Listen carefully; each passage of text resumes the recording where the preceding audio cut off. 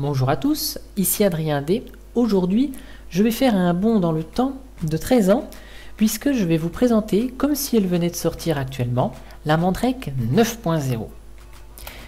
Mandrake Linux, qui est une distribution euh, française sortie en septembre 2002, était disponible sous 3 euh, CD d'installation que j'ai téléchargé et j'ai installé la distribution avec les paramètres par défaut tout simplement. Vous voyez à l'écran Grub de l'époque avec un thème assez bleuté. D'ailleurs, Mandriva est toujours resté avec des thèmes au ton bleu.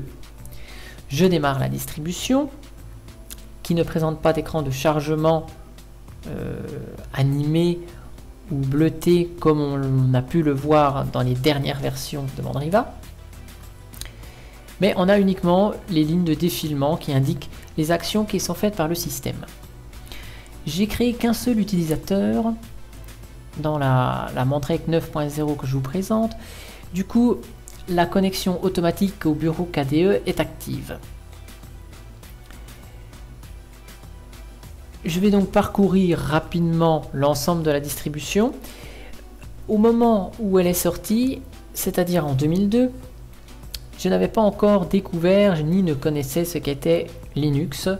Donc du coup, mon avis va être un petit peu, euh, comment dirais-je, neutre puisque je ne connais pas cette distribution. Au démarrage du bureau KDE, nous avons une petite musique. Là, vous l'entendez pas parce que j'ai le casque sur les oreilles pour enregistrer la vidéo, mais il y a une petite musique d'accueil, comme on connaît si bien Windows ou même les distributions Linux maintenant, toujours la petite musique d'accueil. Une fois la session ouverte, je vais ouvrir le menu KDE de l'époque. Donc on a un KDE 3.0.3. Je vais vous l'afficher ici. Voilà, aide à propos de KDE.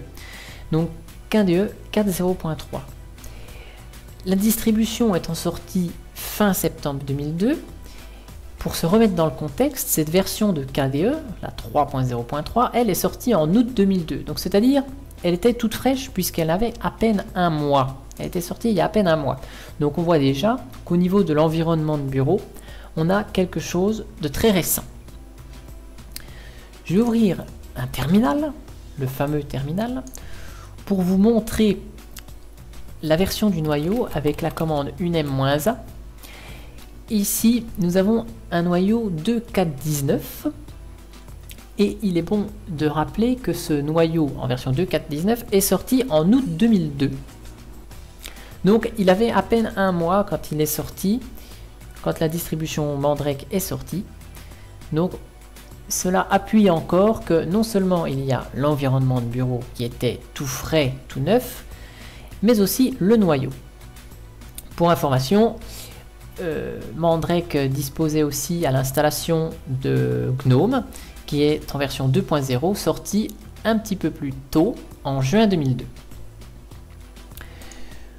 Du côté des applications, une fois la distribution installée, on retrouve pas mal d'applications, notamment des petits outils de divertissement. Amor, notre fameux Amor, je ne sais pas s'il va fonctionner dans la machine virtuelle. Non, mais c'est un petit pingouin qui se déplace sur la, sur la barre des que j'ai toujours euh, en 2015. On a quelques applications bon, d'archivage, compression, ARC, à l'époque il existait déjà. Quelques outils de fax. Au niveau du développement, on a deux trois petits outils. L'éditeur de texte, on a Emac qui est livré. On a KEdit, KWrite, KWrite à l'époque. Voilà, on peut Observez ici, ah bah voyez Amor là qui finalement à l'époque ne devait pas se balader sur la barre tâches mais se balade sur les fenêtres.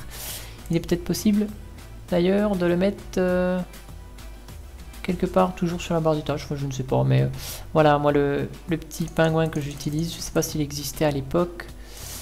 Euh, si tiens voilà Tux, un Tux animé, voilà c'est toujours le même. Il n'a pas pris une ride en 13 ans je vais poursuivre les applications. Donc on retrouve dans l'espace configuration quelques outils euh, non propres à Mandriva. Et on va retrouver le CCM. Je vais ouvrir, voilà, donc ça c'est ici tous les applications pour configurer KDE, la personnalisation, tout ça. Documentation, un peu d'aide. Multimédia, graphisme, donc à l'époque on avait le GIMP. C'était traduit en français, le GIMP et non pas The GIMP. Euh, bon, tous les outils de KDE. Au niveau du son, quelques outils pour faire du ripage de CD, lire les fichiers MIDI. On a le lecteur vidéo Xin. Bon, quelques utilitaires pour le réseau, GFTP qui aujourd'hui n'est plus maintenu. Un peu de messagerie instantanée. Toujours IRC. Des outils pour le courrier. Quelques outils pour euh, les nouvelles l'accès distant si on utilisait éventuellement euh, le modem et quelques outils pour le surf internet. Je vais y revenir juste après. Au niveau de la bureautique, on a quelques accessoires. Donc vous voyez, la calculatrice ne figurait pas dans les outils, mais dans la bureautique à l'époque. Carnet d'adresse, euh, quelques petits outils graphiques, des choses pour gérer un PVA, faire des présentations, le tableur. Donc vous voyez, à l'époque, il y avait et la suite euh, bureautique de LibreOffice et OpenOffice. Gestion du temps, donc les alarmes, les organiseurs, et le traitement de texte avec euh, donc LibreOffice Writer et KWord pour la partie KDE. Dans les terminaux, on a console, celui que j'ai ouvert tout à l'heure, et le centre de configuration de KDE qui ressemble à ceci. Voilà, donc avec sur l'accueil la version de KDE utilisée, la version du noyau en 32 bits, euh, l'utilisateur connecté, système Linux, bon, et puis ici tout ce qui est attrait donc à la configuration, le bureau, l'apparence, euh, le comportement des fenêtres, tout ça c'est toujours présent dans KDE 4 et Plasma 5.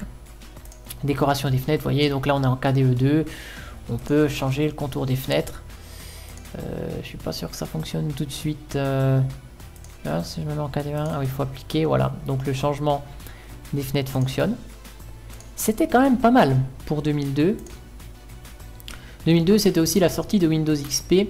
Bon, c'est vrai que ça fait un petit peu euh, quand même dans les tons Windows 95, 98, 2000. XP avait un petit peu d'avance au niveau du look parce qu'on avait moins de gris.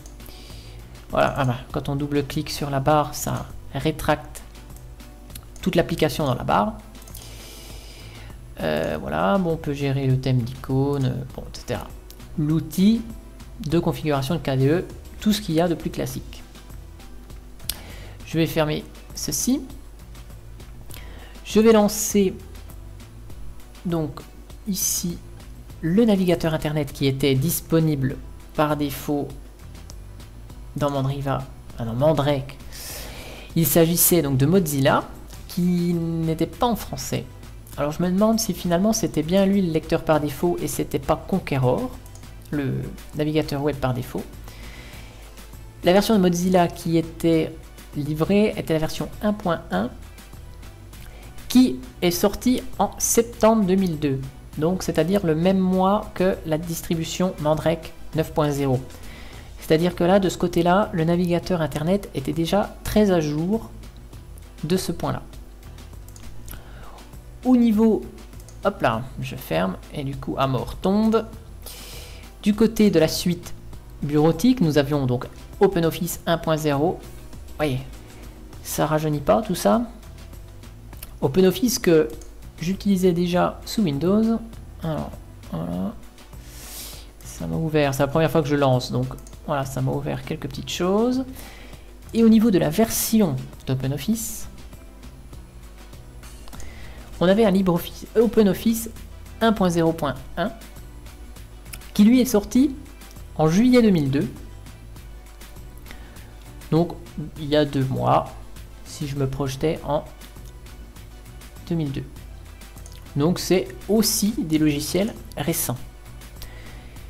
Pour terminer ce petit tour d'horizon, euh, on peut lancer donc le gestionnaire de fichiers. Oups là, j'ai cliqué deux fois.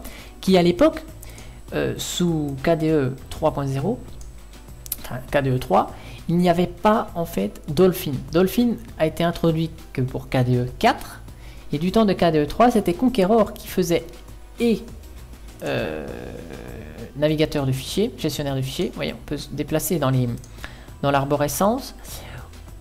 Mais c'est lui qui faisait aussi. Alors bon, voilà, le navigateur internet. On avait Conqueror. Bon là, c'est un. Bon, c'est mauvais exemple parce que j'ouvre le site euh, mandreksoft.com qui n'existe plus. Mais euh, voilà, je, vais ouvrir un site qui fonctionne très bien d'ailleurs, s'appelle Linuxtrix. Bon, sauf que à l'époque, euh, en 2002, vous voyez, les styles, les feuilles de style, bon, ça a beaucoup évolué, donc là, le site s'affiche mal. Mais c'est pour vous dire que finalement, Conqueror peut afficher aussi les sites web en plus d'afficher son arborescence de dossier. Une petite parenthèse sur GCC qui est livré aussi euh, pour faire de la compilation. Alors je ne sais absolument pas si la commande GCC-V existe. Euh, non, je ne sais plus comment ça fonctionne. Mais la version de GCC qui était livrée donc, était la version 3.2 qui date de août 2002, donc était vieille d'un mois. Pour terminer le tour d'horizon de Mandriva, n'oublions pas l'outil incontournable, le fameux CCM, le centre de contrôle de Mandriva.